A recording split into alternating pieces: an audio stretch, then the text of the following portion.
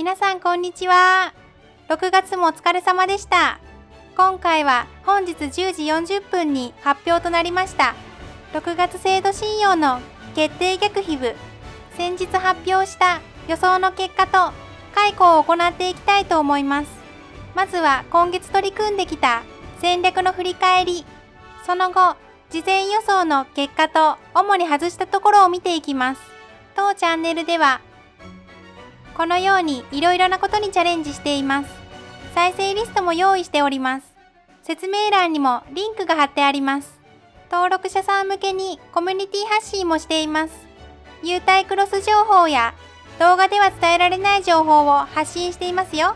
ぜひ一度見ていてくださいね。少しでも気に入っていただけた方はチャンネル登録、高評価よろしくお願いします。さて、まずは今月取った戦略を振り返っていきましょう。当チャンネルビタ戦では1週間前から売り停止狙いの戦略が有効であるとして取り組んでいました。そんな中で売り停止候補銘柄からクロスマーケティング、リブワーク、選手会の3銘柄の停止を引くことができました。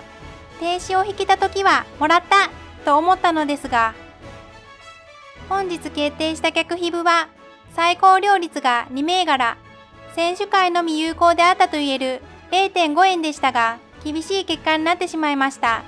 皆さんには期待を持たせるような発信をしてしまい、申し訳なかったなと思います。この中でリブワークはある程度想定内、動画でも売りが積み上がっているので、最高はあり得るとお話しできました。停止を引けたら持ち切って勝負に行くのがセオリーなので、これはまあいいでしょう。問題はこれですね。クロスマーケティング。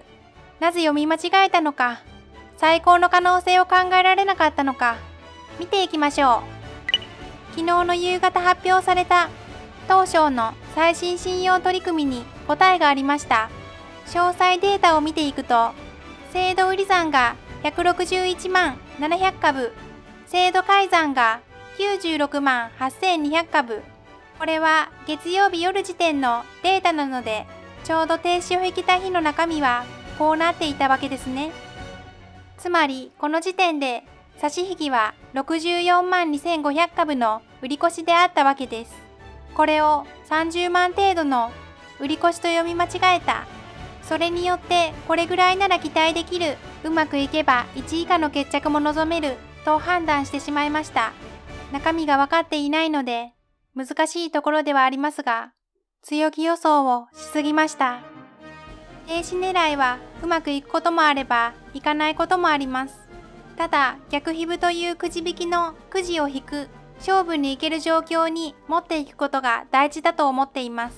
特にクロスマーケティングはくじさえ引ければ必ずプラスになる条件だったのでくじを引くことができた。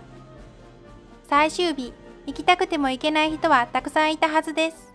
勝負のフィールドには立てたくじを引けたということを戦略として合格をいただけませんか？これで懲りずに続けますよ。売り停止狙い。狙い通りに停止が引けて、安く取れた時の快感。戦略がうまくいく感覚は、一般信用では決して得られないものですからね。それでは全体の予想結果に行きましょう。今回の的中率、プラスマイナス1以内を的中とみなした場合、当日コミュニティでの修正込みで83.8%となりました。安値を見込んだ銘柄はほとんどが的中となっていましたが、一部マイナー銘柄中心に読み切れなかった銘柄もありました。当日は登録者さん限定のコミュニティにて、市場を見ながら修正や評価の変更を行いました。当日に限れば比較的いいお話ができたのではないかなと思っています。次回、制度停止狙い、逆皮部予想は8月に行います。今回に懲りずに、まだまだやっていきますよ。今回の制度関連動画が、皆さんのお役に少しでも立てることができたならとても嬉しいです。それでは、結果を見ていきましょう。それでは結果を見ていきます。この辺りはほとんどが評価も C 評価ですが、安値決着を比較的読めていたのではないかと思います。B 評価。IBG。こちらはゼロ決着予想で、ゼロ決着となった。これは良かったと思います。ただ、資金がかなり必要なのでやられた方は少ないかと思います。地主、江崎グリコ。この2銘柄は外しています。地主は予想外に安く決着。ここは出来高を見ていればある程度予想できたかもしれません。当日は下位の銘柄までなかなか監視が回りませんでした。江崎グリコは想定よりも高い決着となりました。この辺りの銘柄はなかなか難しく、予想外に売り物が入ったなと思います。グローバルダイニングは最高料率となっていますが、これは想定内の最高料率。アルペンは比較的安く決まっております。藤田観光は出来高少なかったのですが、株価も高いのでなかなか押せませんでした。物語やアークランドは想定内の決着でしょうか。AD ワークスは5場から停止となっているので、当初想定ではありません。また、株数も多く、狙う方はほぼいないと考え、修正も行いませんでした。上位層に行きましょう。ここが一番難しいところでした。B 評価マクドナルドは想定内の安値決着。ニューティー花壇が外しておりますが、ここは株数が少なすぎて読む難易度は段違いに高いです。狙う方もほぼいないと思われるので許してください。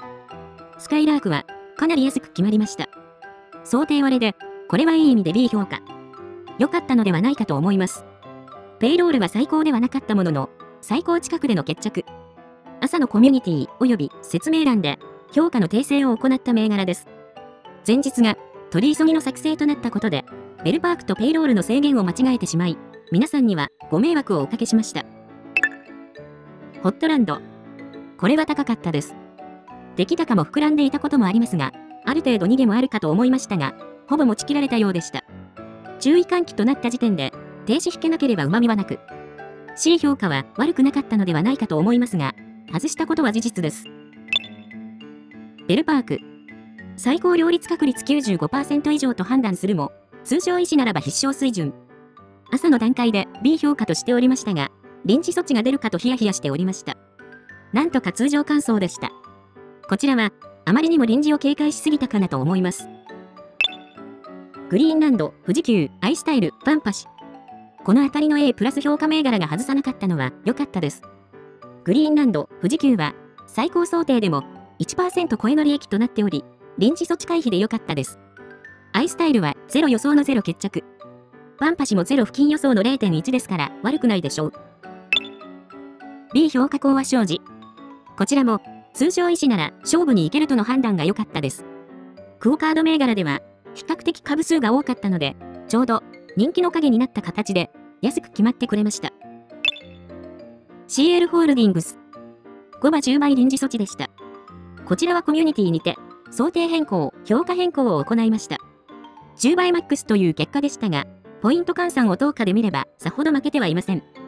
やはり停止引けなければきつかった。というのが正直な感想でしょうか。こんなところでしょうか。次回も、引き続き攻めた予想を孤立に続けていきます。